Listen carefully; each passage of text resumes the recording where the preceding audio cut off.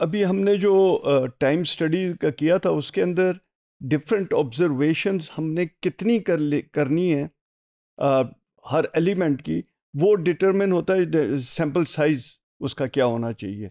तो उसके लिए जो फैक्टर्स हैं इंपॉर्टेंट वो है कि कितनी एक्यूरेसी हम चाहते हैं।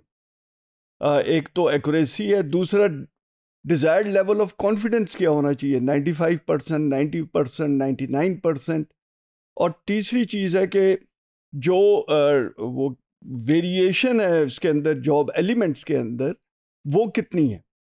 जब उसको हम रिपीट करेंगे तो उसके अंदर अगर वेरिएशन ज़्यादा है तो ज़्यादा बड़ा सैंपल साइज़ लेना पड़ेगा। अगर वेरिएशन कम है तो छोटा सैंपल साइज़ लेना पड़ेगा। इसी तरह डिज़ायर्ड लेवल ऑफ़ कॉन्फिडेंस अगर ज़्यादा हम चाहिए हमें चाहिए तो उसमें फिर ज़्यादा बड़ा सैंपल साइज़ होगा। और एक्यूरेसी भी अगर हम ज़्यादा चाहते हैं तो उसके अंदर भी सैंपल साइज़ ज़्यादा बड़ा होगा। अब इसके अंदर जो सैंपल साइज़ कैलकुलेट करने का वो है वो है z multiply by s divided by h x bar और ये पूरे का पूरा जो एक्सप्रेशन है, उसको हमने स्क्वायर कर लिया। इसके अंदर z जो है, ये बेसिकली कॉन्फिडेंस लेवल को रिप्रेजेंट करता है। एस जो है दैट इज़ स्टैंडर्ड डिविएशन ये आपका वेरिएशन जो है डेटा में उसको रिप्रेजेंट करता है और एच एक्यूरेसी को करता है कि कितना परसेंट हम विद इन वट परसेंटेज हम चाहते हैं कि हमारा रिज़ल्ट एक्यूरेट हो। For example three percent accuracy plus minus three percent हो, क्या हो? और एक्स बार जो इसमें है that is the mean value of the observation आपने चार ऑब्जर्वेशन लिए एक ही एलिमेंट की, उसको चारों को सम किया और उसका आपने फिर चार से डिवाइड किया तो आपके पास एवरेज या मीन वैल्यू आ जाएगी इनिशियल सैंपल की और n is the required sample size जो कि हमने कैलकुलेट करना है, जिसके बेसिस के ऊपर फिर हम ये ऑब्जर्वेशन परफॉर्म करेंगे। इसके अंदर जो जी की वैल्यू है, जो और जेड की वैल्यू है, वो बेसिकली कॉन्फिडेंस लेवल के साथ रिलेटेड है। फॉर एग्ज़ाम्पल 90 परसेंट हम कहते हैं कॉन्फिडेंस लेवल होना चाहिए तो उसकी जो वैल्यू है वो 1.65 है। ये स्टैंडर्ड नॉर्मल टेबल्स में अवेलेबल होती है और उधर से हम निकाल सकते हैं। लेकिन जो कॉमन हमने इधर नोट कर ली हैं these are the common confidence level जो यूजली हम यूज़ करते हैं। तो उसके हिसाब से z की वैल्यू हमने अपनी इक्वेशन में क्या पुट करनी है वो यहाँ गिवन है।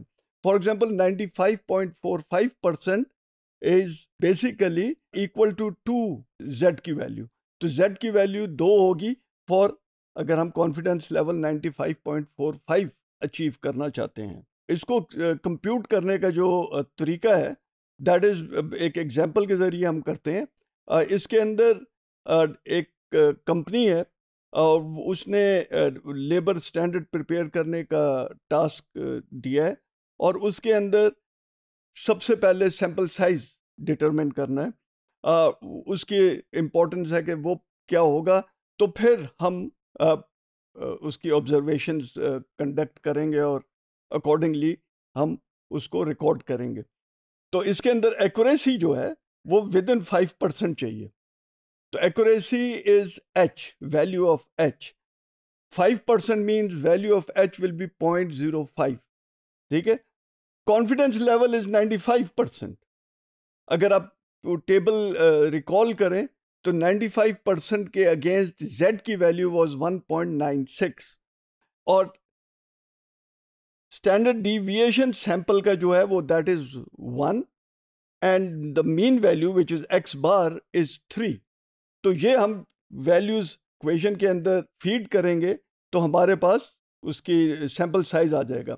सो so, जैसे मैंने बताया कि desired accuracy is five percent ये प्लस माइनस फाइव परसेंट होती है कि within five percent accurate होना चाहिए। और within five percent mean sample mean के plus minus five percent ninety five percent confidence level है तो जेड की value will be one point nine six standard deviation is one and sample mean x bar is three तो इसके अगर हम calculation करें तो वो हमारे पास आ रही है। 171 ऑब्जर्वेशन एक्चुअली आई है hundred and seventy point seven four उसको राउंड ऑफ़ किया तो hundred and seventy one observation हैं, और इसके अंदर द रिकमेंडेशन विल बी कि जी इसकी जो आपने साइकिल करने हैं ऑब्जर्वेशंस करनी है, वो hundred and seventy one observations होनी चाहिए।